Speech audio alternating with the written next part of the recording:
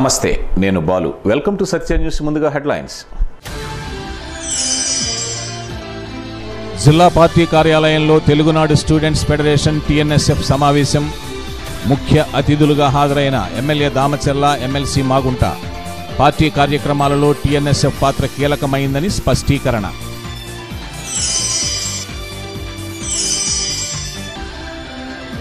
బీసీలకు ఎన్నికల సమయంలో ఇచ్చిన హామీలను నెరవేర్చాలని డిమాండ్ చేస్తూ వైఎస్ఆర్ కాంగ్రెస్ పార్టీ ఆధ్వర్యంలో నగరంలో భారీ బైక్ ర్యాలీ. కలెక్టరేట్ వద్ద ధర్నా.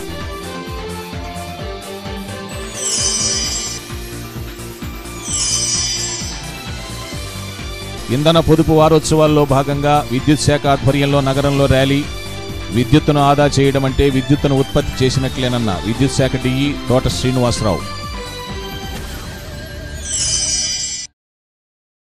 సత్య కేబుల్ ఆర్టెల్ కంట్రోల్ రూములను ఒంగోలులో నూతనంగా ఏర్పాటు చేసినందున నిరంతర ప్రసారాల కోసం వినియోగదారులు తమ సెటప్ బాక్సులను ఆటో ట్యూన్ చేసుకుని అన్ని ఛానల్స్ను అంతరాయం లేకుండా వీక్షించవచ్చని సత్య కేబుల్ ఆర్టెల్ యాజమాన్యం తెలియజేసింది.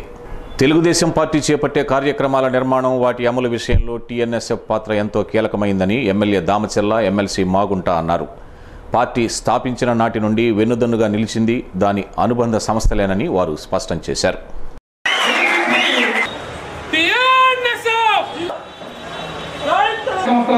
ప్రకాశం జిల్లా పెద్దలు.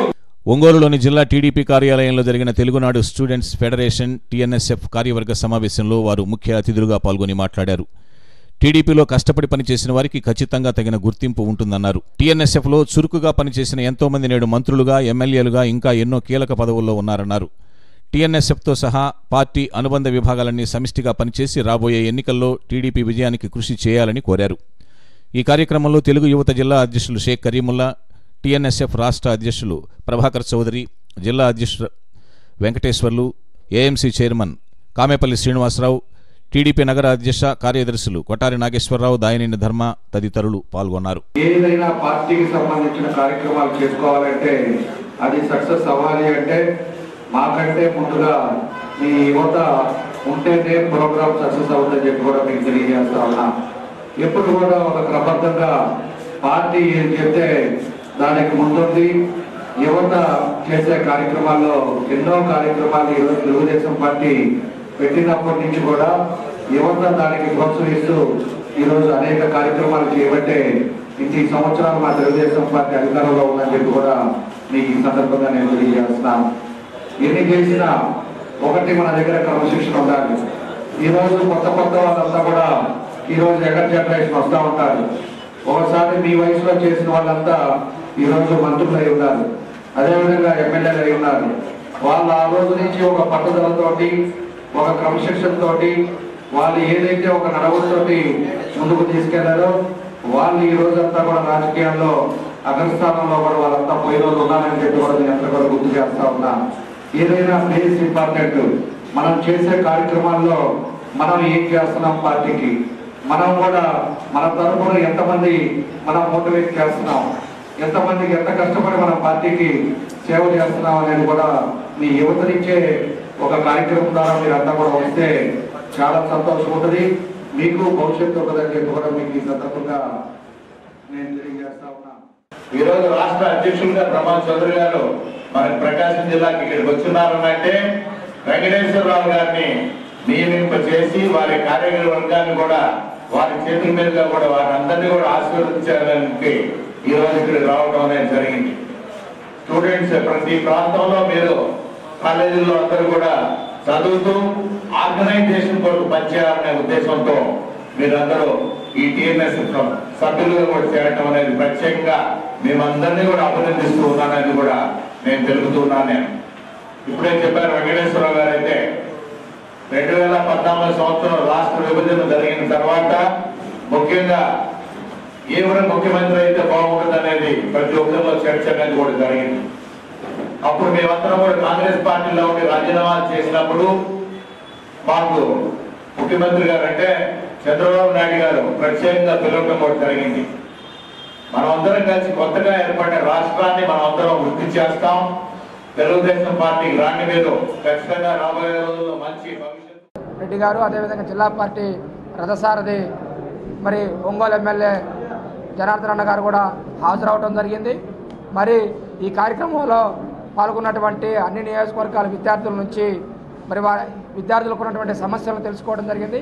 ఈ సమస్యలను ప్రభుత్వం దృష్టికి తీసుకెళ్ళి రానున్న రోజుల్లో రెండు వేల పంతొమ్మిది తెలుగుదేశం పార్టీ ఎన్నికల మేనిఫెస్టోలో పెట్టి మరి ఈ ఐదు సంవత్సరాల్లో చేసుకున్నటువంటి అభివృద్ధి సంక్షేమ కార్యక్రమాలతో పాటు తెలుగుదేశం తెలుగుదేశం పార్టీ తెలుగుదేశం ప్రభుత్వం నారా చంద్రబాబు నాయుడు గారు ఏ విధంగా అభివృద్ధి చేస్తున్నారు?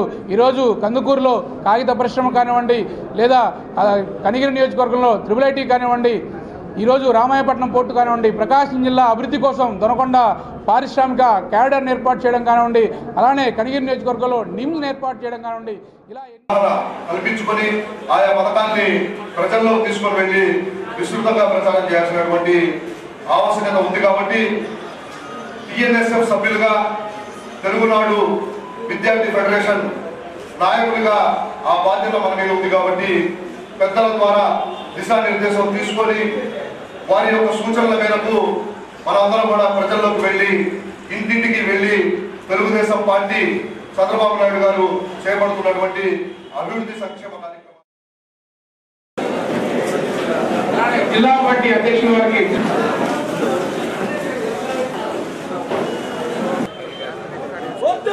సార్. పెద్ద తిరుగు. బీసీలకు ఎన్నికల్లో ఇచ్చిన హామీలు నెరవేర్చాలని డిమాండ్ చేస్తూ వైఎస్ఆర్సీపీ ఆధ్వర్యంలో నగరంలో భారీ బైక్ ర్యాలీ నిర్వహించారు. వైసీపీ జిల్లా కార్యాలయం నుంచి ర్యాలీగా కలెక్టరేట్ వద్దకు చేరుకొని తెలుగుదేశం పార్టీ బీసీల పట్ల వ్యవహరిస్తున్న తీరును ఎండగట్టారు. వైఎస్ఆర్సీపీ బీసీసీల ఆధ్వర్యంలో జరిగిన ఈ కార్యక్రమంలో ఎమ్మెల్యే జంకె వెంకటరెడ్డి కొండెపి నియోజకవర్గ సమన్వయకర్త మాదాస్ వెంకయ్య కనిగిరి నియోజకవర్గ సమన్వయకర్త బుర్రా మధుసూదన్ యాదవ్ బీసీసీఎల్ జిల్లా అధ్యక్షులు కటారి శంకర్ బీసీ అధ్యయన కమిటీ అధ్యక్షులు అల్వారు ముసలయ్య వైసీపీ నగర అధ్యక్షుడు సింగరాజు వెంకట్రావు యూత్ అధ్యక్షుడు గంటా రామానాయుడు మాజీ కౌన్సిలర్ షేక్ జలాల్ బొట్ల రామారావు ఈదర సురేష్తో పాటు పలువురు వైసీపీ నాయకులు కార్యకర్తలు పాల్గొన్నారు. బీసీలకు ఎన్నికల్లో నూట అరవై హామీలిచ్చి నేటికి ఒక్క హామీ కూడా నెరవేర్చకుండా సీఎం చంద్రబాబు నాయుడు పరిపాలన సాగించడం దురదృష్టకరమని వైసీపీ నాయకులు మండిపడ్డారు. బీసీ సబ్ ప్లాన్కు నిధులు కేటాయించకుండా చోద్యం చూస్తున్నారన్నారు. ఆదరణ పథకం కింద చిన్న చిన్న పనిముట్లు అందజేసి బీసీలను అణిచివేయాలని చూస్తున్నారని మండిపడ్డారు. బీసీల పట్ల చిత్తశుద్ధితో పనిచేయాలని ఇచ్చిన హామీలు నెరవేర్చాలని డిమాండ్ చేశారు. రెండు వేల పంతొమ్మిది ఎన్నికల్లో వైసీపీ అధినేత జగన్మోహన్ రెడ్డిని సీఎం చేసేందుకు బీసీలంతా ఏకం కావాలని పిలుపునిచ్చారు.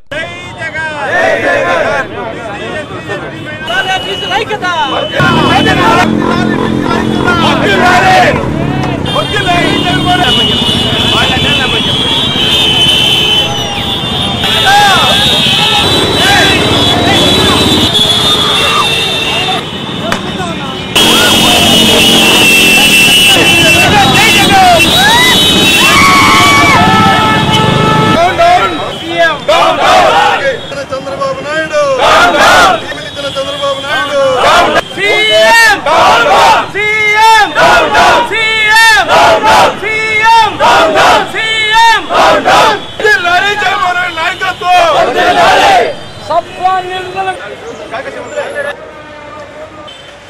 ముఖ్యమంత్రి చంద్రబాబు నాయుడు గారు బీసీలకు ఇచ్చిన హామీలను తుంగలో తొక్కి నేనేదో చేస్తున్నాను ఆదరణ ఒకటి రెండు అని పనికిరాని పనిముట్లు ఇచ్చి ఈరోజు బీసీలకు అన్యాయం చేయడంలో ప్ర- ప్రముఖుడు చంద్రబాబు నాయుడు గారని చెప్పవచ్చు. మరి ఈరోజు చేతకాని ప్రభుత్వం ఎందుకు ఇలా ఆదరని ఈరోజు చూస్తుంటే పనిముట్లు పేపర్లో మనం చూస్తున్నాం. వారిచ్చిన పనిముట్లు బార్బర్లు కుర్చీలు కానీ ఇస్త్రీ పెట్టెలు కానీ తదితర వస్తువులన్నీ కూడా పనికి రాకుండా మూలనేసుకొని ఎందుకు ఈ కర్మ మాకు వచ్చింది ఇలాంటి ఎందుకు ఇస్తున్నారు? కాబట్టి జగన్మోహన్ రెడ్డి గారు ముఖ్యమంత్రి అయితేనే ఈ బీసీలకు ఎస్సీ ఎస్టీ మైనారిటీ ముస్లిం క్రిస్టియన్లకు అందరికీ కూడా న్యాయం జరుగుతుంది. కాబట్టి మనమందరం కూడా ఐక్యతతో ఈరోజు బీసీ బీసీల గర్జన బైక్ ర్యాలీని విజయవంతం చేయటానికి ఈరోజు జిల్లా నలుమూల నుంచి విచ్చేసిన బీసీ సోదరులు సోదరులందరికీ కూడా నమస్కారాలు తెలియజేస్తూ ఇదే ఐక్యతను రేపు రెండు వేల పంతొమ్మిదిలో జగన్మోహన్ రెడ్డి ముఖ్యమంత్రి అయ్యేంత వరకు మనం పోరాడి ఈరోజు చంద్రబాబు నాయుడు గారు చేస్తున్న మోసపూరిత వాగ్దానాలను ఖండించాలని దివంగత ముఖ్య ముఖ్యమంత్రి డాక్టర్ రాజశేఖర రెడ్డి ఏదైతే సంజీవన్ లాంటి ఆరోగ్యశ్రీ సంక్షేమ పథకాన్ని కనుగొన్నారో దాన్ని పూర్తిగా ఈరోజు నిర్వీర్యం చేసి మరి దాదాపు ఐదు వందల కోట్ల అప్పు ఉండి మరి పూర్తిగా ఆ ఆరోగ్యశ్రీని కూడా ఆపేసిన సందర్భాలు. మరి అదేవిధంగా ఫీజు రియంబర్స్మెంట్ మరి ప్రతి పేద విద్యార్థి మరి బడుగు బలహీన వర్గాల వారు కూడా కార్పొరేట్ విద్య చదవాలని ఆ రోజుల్లో మహానేత ఆ మంచి సంక్షేమ పథకాన్ని తెస్తే దాన్ని ఈరోజు పూర్తిగా మరి ఫీజు రియంబర్స్మెంట్ పథకాన్ని అరకొర ఇస్తా అటువంటి కార్యక్రమాలు చేస్తూ బీసీలను అనగదొక్కుతూ ఏదో చిన్న చిన్న ఆధార పథకాలని చెప్పి మరి నాయ బ్రాహ్మణులకి మరి చిన్న పనిముట్లు ఇచ్చుకుంటా అటువంటి చేయటం చాలా మేము ఖండిస్తున్నాం. రాబోయే కాలంలో ఏదైతే జగన్మోహన్ రెడ్డి గారు వారి తండ్రిలాగే మరి బీసీల పట్ల మంచి సంక్షేమ పథకాలు అభివృద్ధి కార్యక్రమాలు చేస్తారని విశ్వసిస్తూ ఇప్పటికైనా కూడా చంద్రబాబు నాయుడు గారు చూసి కావచ్చు. ఆ వల్ల ఆ పథకాల వల్ల బీసీలకు న్యాయం జరిగింది. ప్రధానంగా చంద్రబాబు నాయుడు గారికి మేము చెప్తున్నాం మీరు మాయ మాటలు చెప్పి మోసం చేయొద్దు. నిజంగా ఎక్కడైనా కానీ బీసీలు న్యాయం చేయండి. బీసీలు కూడా రాజ్యాధికారంలో భాగం కల్పించమని చెప్పి ఆయన డిమాండ్ చేస్తున్నాం. ముఖ్యంగా జగన్మోహన్ రెడ్డి గారు ఏ విధంగా రాష్ట్ర వ్యాప్తంగా అన్ని జిల్లాల్లో బీసీలకి పెద్దపీట వేస్తున్నారు. బీసీలకి రాజ్యా రాజ్యాధికారం కల్పిస్తున్నారు. బీసీలకి ఎమ్మెల్యే సీట్లు ఇస్తున్నారు బీసీలని పెద్దలు చేస్తున్నారు. వాళ్ళకి పెద్ద పేట వేస్తామని చెప్తున్నారు. ముఖ్యంగా మీరు అధికారంలో ఉండి చేసింది ఏమీ లేదు. ఎస్టీలో చేరుస్తానన్నావు. వడ్డీలను ఎస్టీలో చేరుస్తున్నావు ఇక అనేక బీసీ కులాలకి అనేక హామీలు ఇచ్చి మోసం చేశావు. నీ మోసాన్ని గ్రహించారు మా జగన్మోహన్ రెడ్డి గారు ఇచ్చినటువంటి తొమ్మిది నవరత్నాల పథకాల్లో ఎనభై శాతం బీసీలు కుటుంబానికి లక్ష నుండి రెండు లక్షల రూపాయలు లబ్ధి పొందేటువంటి అవకాశాన్ని ఈ బీసీలు రాష్ట్రంతో కూడా గ్రహించారు. మన బాబు గారి నైజం అన్నమాట. అదేవిధంగా ఈరోజు మీరు మన జగన్మోహన్ రెడ్డి గారిని తీసుకుంటే దాదాపు బీసీల అత్యధికులకి దాదాపు ప్రతి కాన్స్టిట్యూషన్లో ఇద్దరు ముగ్గురికి సీట్లు ఇవ్వడం జరుగుతుంది. అందువల్ల మీరు గమనిస్తే మన జగన్మోహన్ రెడ్డి గారు బీసీలకి ఎంత ప్రాధ్య ప్రాధాన్యత ఇస్తున్నారో మీరందరూ గ్రహించాల్సిన అవసరం ఉంది. కాబట్టి ప్రజలారా మన బీసీలు యాభై పర్సెంట్ ఉన్నారు. యాభై పర్సెంట్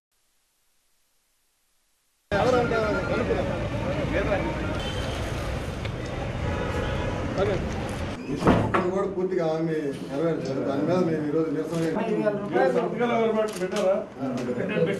విద్యుత్తును ఆదా చేయడం విద్యుత్తును ఉత్పత్తి చేసినట్లేనని ఎస్పీడీసీఎల్ డిఈ తోట శ్రీనివాసరావు అన్నారు. ఇంధన పొదుపు వారోత్సవాల్లో భాగంగా విద్యుత్ ఉద్యోగులు నగరంలో భారీ ర్యాలీ నిర్వహించారు.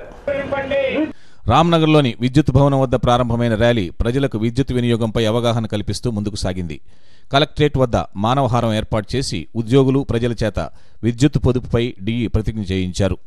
భావితరాలకు క్లిష్ట పరిస్థితులు ఏర్పడకుండా విద్యుత్తును పొదుపుగా వాడుకోవాలని ఏడీఈ పివివి ప్రసాదరావు ప్రజలకు పిలుపునిచ్చారు. ఈ కార్యక్రమంలో వివిధ విభాగాల అధికారులు ఉద్యోగులు పాల్గొన్నారు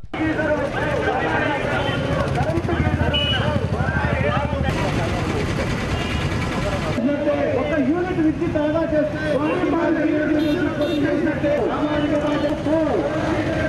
కరెంట్ గీజర్ ఎల్ఈడి బల్బులనే వాడదాం ఎల్ఈడి బల్బులనే వాడదాం కాపలాదారుగా ఉంటారు అత్యంత విలువైన విద్యుత్ శక్తి?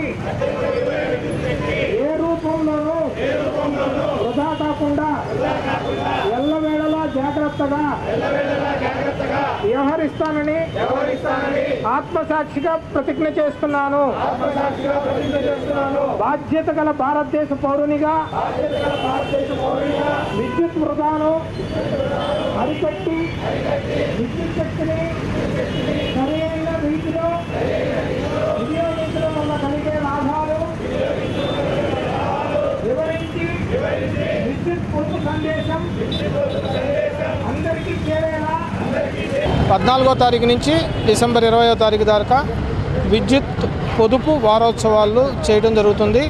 ఇది ఆంధ్రప్రదేశ్ ప్రభుత్వం ద్వారా మా ఎస్పీడీసీలు కూడా ఈ వారం రోజులు కూడా విద్యుత్ వినియోగదారులందరినీ కూడా చైతన్యపరుస్తూ విద్యుత్ పొదుపు అనే అంశాన్ని ప్రజల్లోకి తీసుకెళ్ళడానికి విస్తృతంగా అనేక రకమైన కార్యక్రమాలు ఏర్పాటు చేయడం జరిగింది. ఈరోజు ఆఖరి రోజు కాబట్టి అట్లాగే ఈ విద్యుత్ పొదుపు అనేది విద్యుత్ ఉత్పత్తి అనేది మనము న్యాచురల్ రిసోర్సెస్ ఉంటాయి.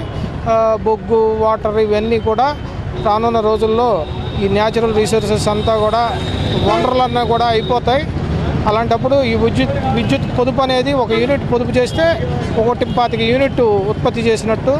రానున్న రోజుల్లో భవిష్యత్తు తరాలకు కూడా మేలు జరిగే విధంగా ఈ విద్యుత్ పొదుపు పొదుపు గురించి అందరి అన్ని వర్గాల వారిని చైతన్యపరుస్తూ ఈ కార్యక్రమాలు చేపట్టాం. ఈరోజు ఆఖరి రోజు సందర్భంగా ఈ ర్యాలీ చేశాం.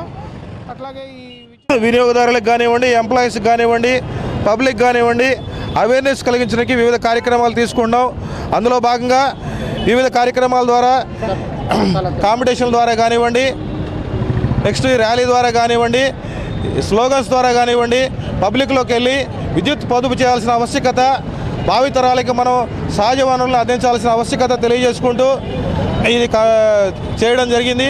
ఇది గవర్నమెంట్ నుంచి వచ్చిన ఒక ప్రయారిటీ సబ్జెక్ట్ గత నాలుగున్నర ఏళ్ళుగా నవ్యాంధ్ర అభివృద్ధికి కేంద్రంలోని బీజేపీ ప్రభుత్వం ఇతోధికంగా సాయం అందించిందని బీజేపీ జాతీయ మహిళా మోర్చా నాయకురాలు దగ్గుపాటి పురంధరేశ్వరి అన్నారు.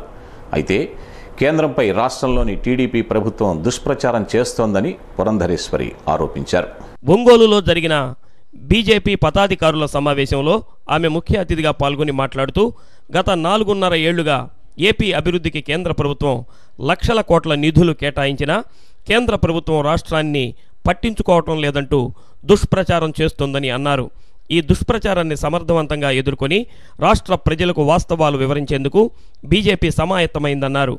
ఈ నేపథ్యంలో గుంటూరులో జనవరి ఆరవ తేదీన ప్రజా చైతన్య సభను నిర్వహిస్తున్నామని చెప్పారు. ఈ సభలో ప్రధాని నరేంద్ర మోడీ పాల్గొంటారన్నారు. ఈ సందర్భంగా టీడీపీ ప్రభుత్వం సీఎం చంద్రబాబుపై ఆమె విమర్శలు చేశారు.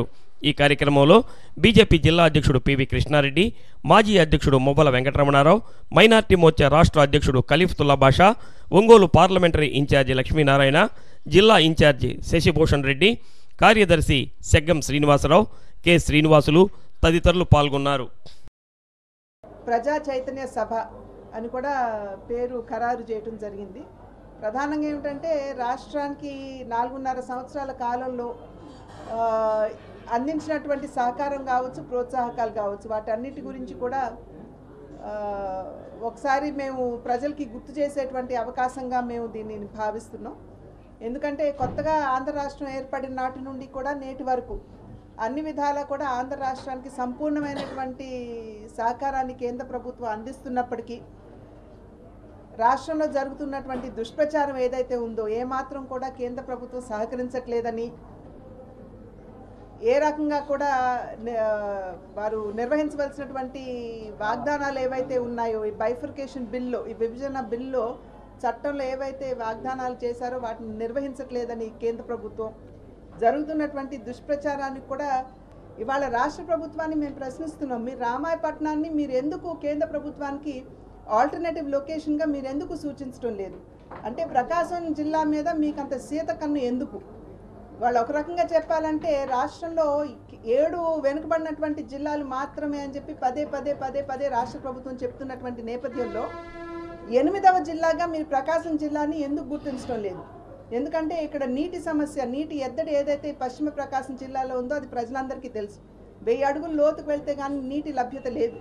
లభ్యంగా ఉన్నటువంటి నీటిలో ఫ్లోరైడ్ సమస్య. ఇవన్నీ ఉన్నటువంటి సందర్భంలో ఇక్కడ ఎటువంటి ఇండస్ట్రీ లేదు. సరైనటువంటి ఎడ్యుకేషన్ ఇన్స్టిట్యూషన్స్ లేవు. అటువంటి సందర్భంలో ప్రకాశం జిల్లాని వెనుకబడినటువంటి జిల్లాగా గుర్తించవలసినటువంటి నేపథ్యంలో అసలు మీరు ఎందుకు గుర్తించట్లేదు అని చెప్పి రాష్ట్ర ప్రభుత్వాన్ని మేమందరం కూడా మేము ప్రశ్నిస్తున్నాం. ప్రధానమంత్రి గారు కూడా ఇవ్వగలుగుతారని చెప్పి మేమందరం కూడా విశ్వసిస్తున్నాం. ఇది మొ- మొట్టమొదటి అంటే మొట్టమొదటిసారి అంటే అమరావతి శంకుస్థాపన తర్వాత బహిరంగ సభకి ప్రధాని గారు వస్తున్నటువంటి మొట్టమొదటి సభగా మేము భావిస్తూ ఖచ్చితంగా దీన్ని అన్ని విధాలా కూడా మేము సఫలం చేసుకోవాలని చెప్పి మేమందరం కూడా మా వంతు కృషి ప్రయత్నం మేము చేస్తాం. తెలుగు సాహితీ శిఖరం జ్ఞానపీఠ అవార్డు గ్రహీత ఆచార్య సి నారాయణ రెడ్డి అని ఎమ్మెల్సీ మాగుంట శ్రీనివాసులు రెడ్డి అన్నారు. మాగుంట కుటుంబంతో ఆయనకున్న అనుబంధాన్ని గుర్తు చేసుకున్నారు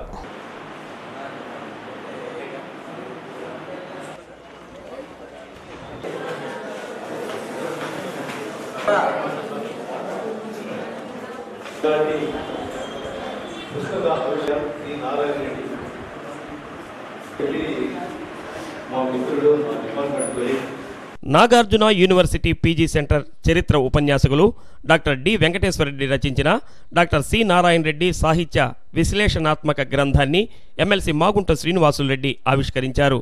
ఆయన ముద్రించిన సినారే సాహిత్య సర్వస్వం పద్దెనిమిది సంపుటాలలో మూడు నాలుగు సంపుటాలను ప్రకాశం జిల్లా రచయితల సంఘం ఆధ్వర్యంలో తాము ముద్రించినట్లు చెప్పారు. నాగార్జున యూనివర్సిటీ పీజీ సెంటర్లో జరిగిన పుస్తకావిష్కరణ సభకు PG centre special officer G Somashekhar అధ్యక్షత వహించారు. ప్రకాశం జిల్లా రచయితల సంఘం అధ్యక్షులు బి. హనుమారెడ్డి కార్యదర్శి పొన్నూరు వెంకట శ్రీనివాసులు పద్యకవి ఉన్నం జ్యోతివాసు ఉదయగిరి పుస్తక సమీక్ష చేశారు. అనంతరం ఎమ్మెల్సీ మాగుంటను పుస్తక రచయిత డాక్టర్ వెంకటేశ్వర రెడ్డిని యూనివర్సిటీ తరపున ఘనంగా సత్కరించారు.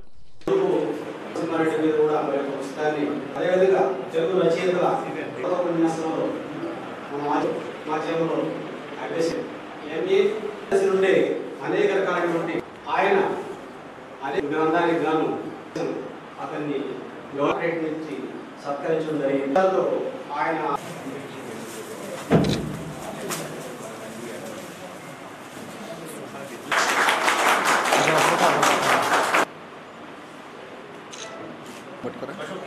అశోక్ ఇదిగో.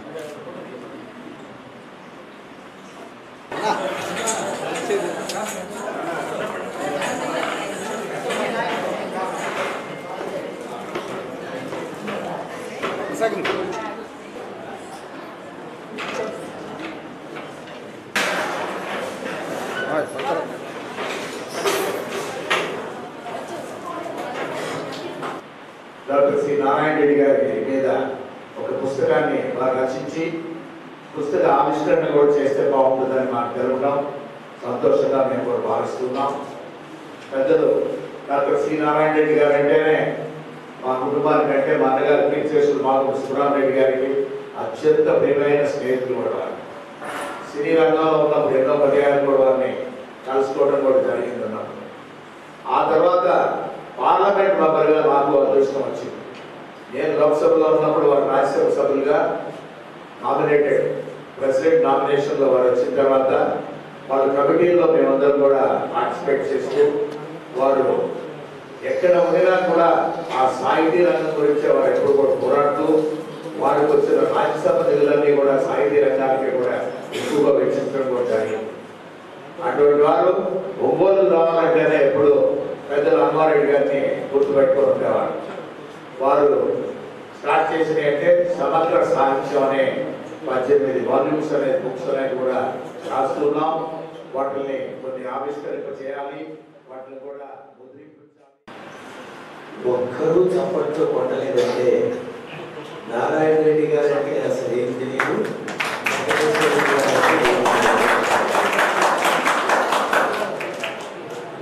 మనం ఇట్లాంటి సమాజంలో ఉన్నాము అంటే నారాయణ రెడ్డి గారి గురించి ఎంతో సమాచారాన్ని ఒక సంవత్సర కాలం పాటు సేకరించి ఈ పుస్తకాన్ని రాశారు వెంకటేశ్వర రెడ్డి గారు. ఆయన్ని ఎంత అభినందించినా తక్కువే.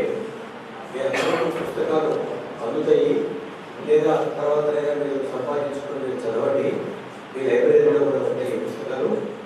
దానిలో నారాయణ రెడ్డి గారి గురించి చెప్ప చెప్పని అంశం అంటూ అసలు అటు ప్రౌఢ కవిత్వాన్ని ఇటు ఆధునిక కవిత్వాన్ని ఇటు అభ్యుదయ కవిత్వాన్ని అన్ని రకాల కవిత్వాన్ని పండించినటువంటి కవి సీరా రెడ్డి ఆయన మాట అంటాడు ప్రతిరోజు ఆయన కవిత్వం రాయాల్సింది.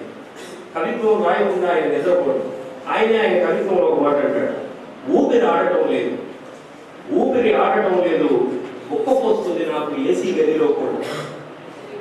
ఎందుకు ఆయన ఆలోచించాను. ఈ రోజు కవిత్వం రాయలేదు. కవిత్వం రాయని రోజు ఆయనకి ఏసీ గదిలో కూడా ఉక్కపోస్తున్నటువంటి వాతావరణం ఏర్పడుతుంది. ఆయన చనిపోయేంత వరకు ప్రతిరోజు ఒక కవిత్వమై ఆయన ఉదయించాడు ఆయన సీనా వెంకటి గారు సీనా వెంకటి గారు ఆ రాత్రి పూట నిద్రపోతాడని అనుకుంటే తూర్పు కనుమల్లో నుంచి ఏ విధంగా సూర్యుడు ఉదయిస్తాడో పశ్చిమ కనుమల్లోకి వెళ్ళి అలాగే సీనా వెంకటి గారు కూడా ఆ ఏసీ రూమ్లోకి వెళ్ళిన తర్వాత కవిత్వమై ఉదయాన్ని ఉదయించేవాడు. ఆంధ్రప్రదేశ్ హాకీ అసోసియేషన్ ఆధ్వర్యంలో ఒంగోలులోని పేస్ ఇంజనీరింగ్ కాలేజీలో ఈ నెల ఇరవై ఒకటి నుండి ఇరవై మూడవ తేదీ వరకు రాష్ట్ర స్థాయి జూనియర్ హాకీ ఛాంపియన్షిప్ పోటీలు జరుగుతాయని జిల్లా హాకీ సంఘం కార్యనిర్వాహక కార్యదర్శి ఎం శ్రీనివాసరావు ఒక ప్రకటనలో తెలిపారు. ప్రకాశం నెల్లూరు చిత్తూరు కడప కర్నూలు అనంతపురం జిల్లాలకు చెందిన బాలబాలికల జట్లు ఈ పోటీలో పాల్గొంటాయని ఆయన పేర్కొన్నారు. సత్యనిషిలో ఇప్పుడు కొన్ని వాణిజ్య ప్రకటనలు.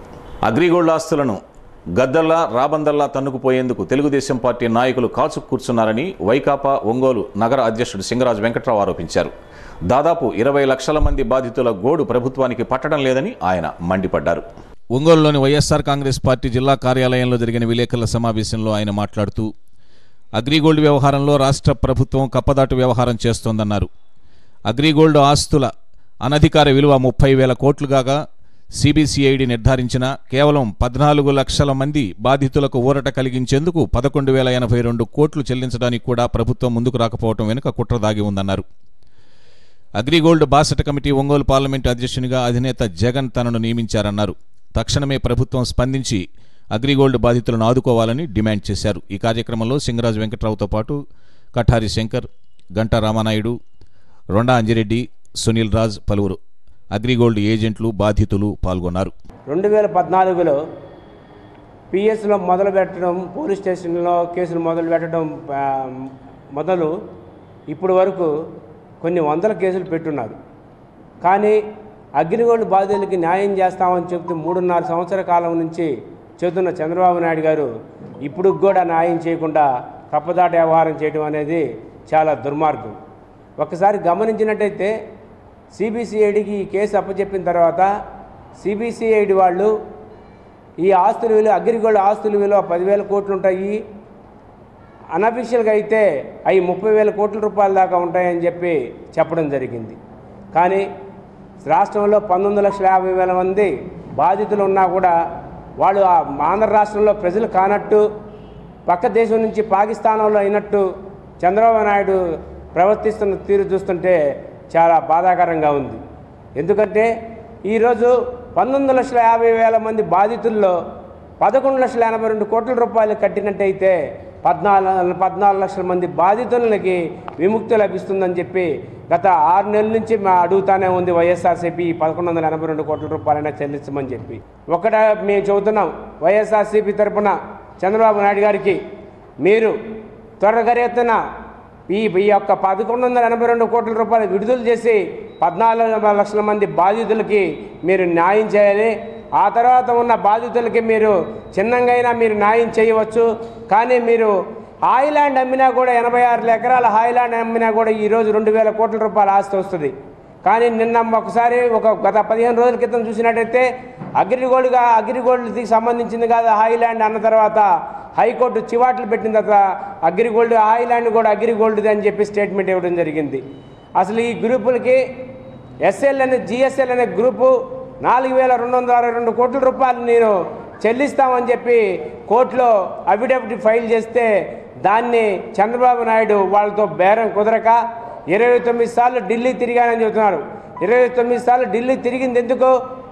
G GSL group Subhash Chandraji మాజీ ఎంపీ అమర్ సింగ్తో లాలుచి పడి వేల కోట్లు తినేద్దామనే దృష్టితో వాళ్ళతో బేరసారాలు కుదరక ఆ రోజు వాళ్ళు మళ్ళీ మళ్ళీ రిటర్న్ దాఖలు పది కోట్ల రూపాయలు అడ్వాన్స్గా కట్టిన జిఎస్ఎల్ గ్రూప్ వెనకపోవడానికి కారణం చంద్రబాబు నాయుడు గారు కాదా అని ప్రశ్నిస్తున్నాం. ప్రభుత్వ పాఠశాలలకు దీటుగా ప్రైవేటు పాఠశాలల్లో క్రీడలకు అధిక ప్రాధాన్యత ఇస్తున్నట్లు అప్సా రాష్ట్ర కార్యదర్శి పర్వతరెడ్డి కిషోర్ కుమార్ తెలిపారు. ఆప్సా ఆధ్వర్యంలో నిర్వహిస్తున్న స్పోర్ట్స్ మీట్ రెండు వేల పద్దెనిమిదిని ఆయన ప్రారంభించారు. ఏబిఎం డిగ్రీ కాలేజీ మైదానంలో అప్సా ప్రకాశం జిల్లా అధ్యక్షులు సిహెచ్ మల్లికార్జున్ పర్యవేక్షణలో క్రీడలు ఘనంగా ప్రారంభమైనాయి. విద్యార్థులు చదువుతో పాటు క్రీడల్లో కూడా ఆసక్తి కలిగించేందుకు ప్రతి సంవత్సరం అప్సా ఆధ్వర్యంలో స్పోర్ట్స్ మీట్ ఏర్పాటు చేస్తున్నట్లు నిర్వాహకులు తెలిపారు. మూడు రోజుల పాటు వివిధ విభాగాల్లో పోటీలు నిర్వహిస్తున్నామన్నారు. బాలికలకు వంద మీటర్ల పరుగు పందాన్ని అప్సా రాష్ట్ర కార్యదర్శి కిషోర్ కుమార్ జెండా ఊపి ప్రారంభించారు. ఈ కార్యక్రమంలో అప్సా నగర అధ్యక్షులు ఏ వంశీకృష్ణ చంద్రశేఖర్ లక్ష్మీనారాయణ వెంకటేశ్వర్లతో పాటు పలు పాఠశాలల విద్యార్థిని విద్యార్థులు ఉపాధ్యాయులు పాల్గొన్నారు.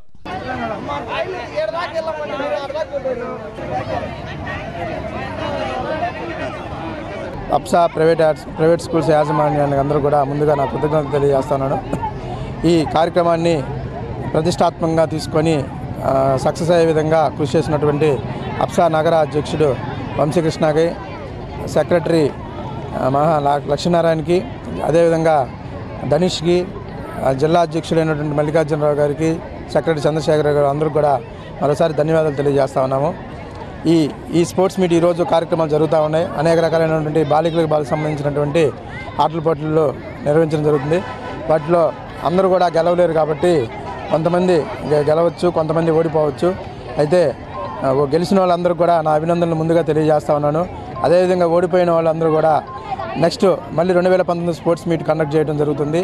దానిలో మళ్ళీ గెలుపొందాలని అప్సా రెండు రెండు వేల పద్దెనిమిది స్పోర్ట్స్ మీట్ కార్యక్రమం ఈరోజు రెండు వేల మంది విద్యార్థులతో ఏబిఎం డిగ్రీ కాలేజీలో ఎంతో ఘనంగా ప్రారంభమైంది. అయితే ప్రతి సంవత్సరం కూడా అప్సా ఆధ్వర్యంలో మేము పిల్లలకి మంచి ఆటల పోటీలు నిర్వహించి వాళ్ళ విద్యార్థుల చదువుతో పాటు వాళ్ళకి మానసిక ఉల్లాసం కలగడానికి ఎంతో తోడ్పడుతూ ఉంటాము.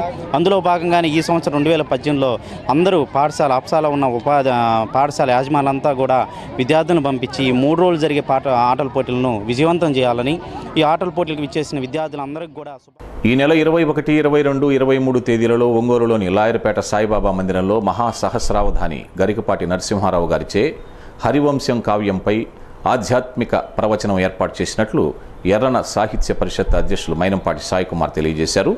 కార్యక్రమానికి సంబంధించిన కరపత్రాన్ని ఆయన ఆవిష్కరించారు.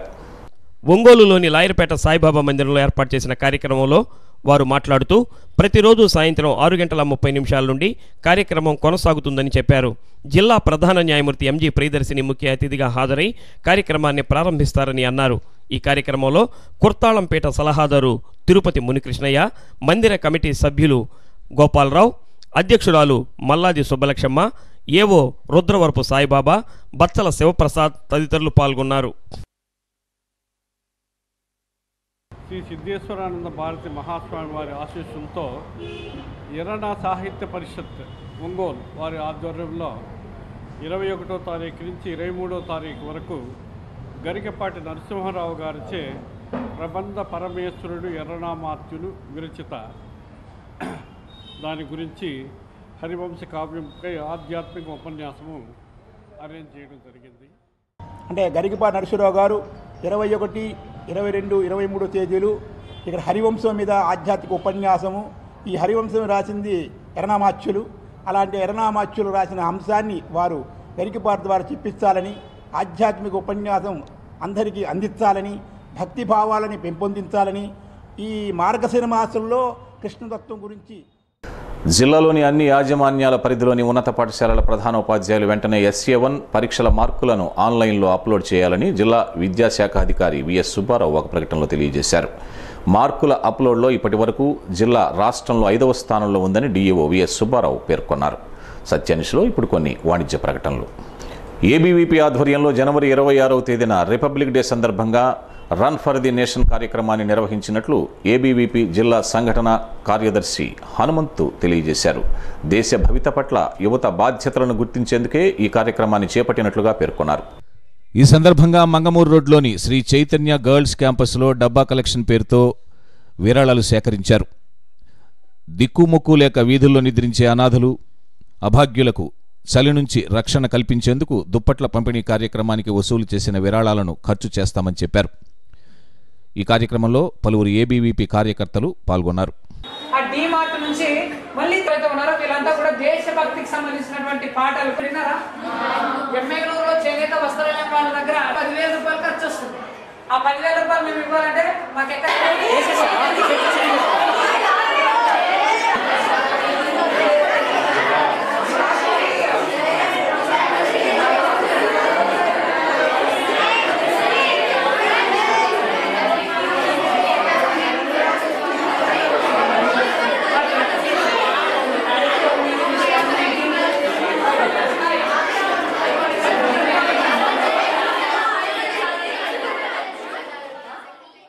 దేశంలో ఉన్నటువంటి యువత ఎవరైతే ఉన్నారో వాళ్ళంతా కూడా ఈ దేశం కోసం స్వాతంత్రం తెచ్చినటువంటి మహానుభావుల యొక్క వాళ్ళని గుర్తుంచుకోవాలన్నటువంటి ఉద్దేశంతో ఏబీవీ ఆధ్వర్యంలో ఈ రన్ ఫర్ ది నేషన్ అనేటువంటి యొక్క కార్యక్రమాన్ని చేపట్టాం. ఈ రన్ ఫర్ ది నేషన్ కార్యక్రమంలో డబ్బా కలెక్షన్ అనేటువంటి యొక్క కార్యక్రమాన్ని కూడా చేపట్టాం. డబ్బా కలెక్షన్ ఏంటంటే ప్రతి విద్యార్థి చేత మేము ఫండ్స్ అనేటివి కలెక్ట్ చేస్తాం విరాళాలు.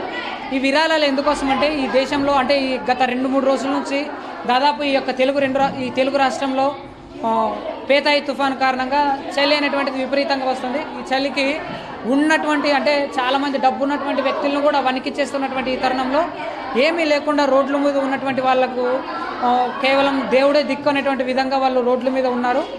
వాళ్ళకు దుప్పట్లు పంపిణీ చేయాలనేటువంటి ఉద్దేశంతో ఏబీవీ ఆధ్వర్యంలో ఈరోజు మేము ఈ రన్ ఫర్ ది నేషన్ అనేటువంటి యొక్క కార్యక్రమం ద్వారా విరాళాలు సేకరిస్తున్నాం.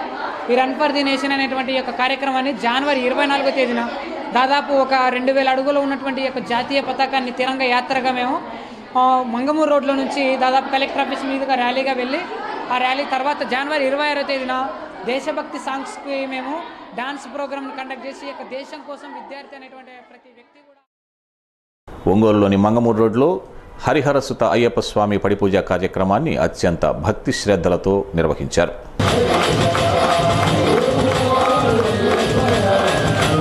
అరటి బోధలతో నిర్మించి సుందరంగా అలంకరించిన వేదికపై స్వామివారి విగ్రహాన్ని ఉంచి ప్రత్యేక పూజలు చేశారు. భక్తి శ్రద్ధలతో స్వామివారి భజనలు నిర్వహించారు. ఈ కార్యక్రమంలో అధిక సంఖ్యలో అయ్యప్ప భవానీ శివ గోవింద మాలధారులు పాల్గొని అయ్యప్ప స్వామిని దర్శించుకున్నారు. స్వామియే శరణం అయ్యప్ప అనే నామఘోషతో ఆ ప్రాంతం మారుమోగింది. అనంతరం స్వాములకు భక్తులకు భిక్ష ఏర్పాటు చేశారు.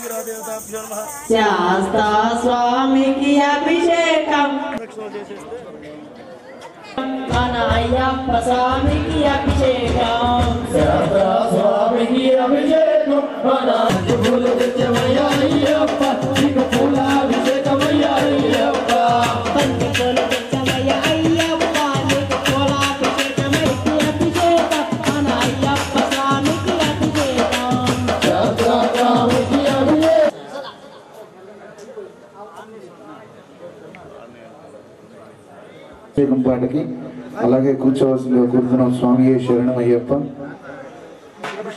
ఈ సేవ అమలు చేస్తామని జీవితం చక్కగా చూపించుకుందాం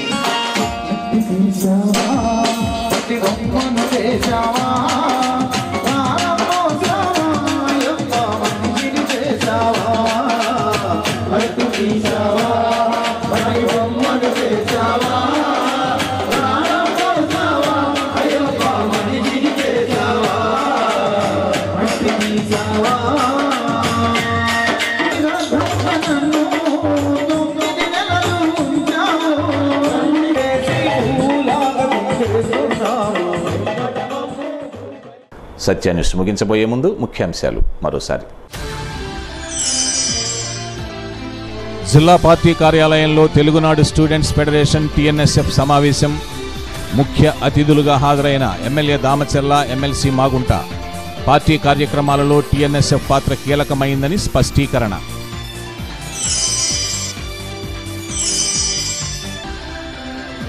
బీసీలకు ఎన్నికల సమయంలో ఇచ్చిన హామీలను నెరవేర్చాలని డిమాండ్ చేస్తూ వైఎస్ఆర్ కాంగ్రెస్ పార్టీ ఆధ్వర్యంలో నగరంలో భారీ బైక్ ర్యాలీ.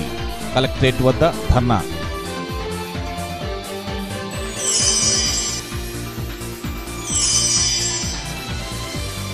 ఇంధన పొదుపు వారోత్సవాల్లో భాగంగా విద్యుత్ శాఖ ఆధ్వర్యంలో నగరంలో ర్యాలీ.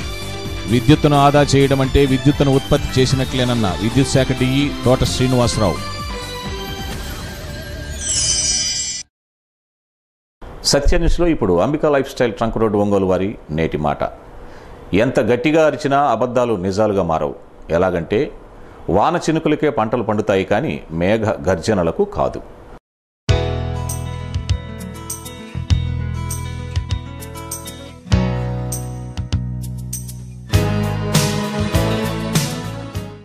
సత్య న్యూస్. ఇంతటితో సమాప్తం.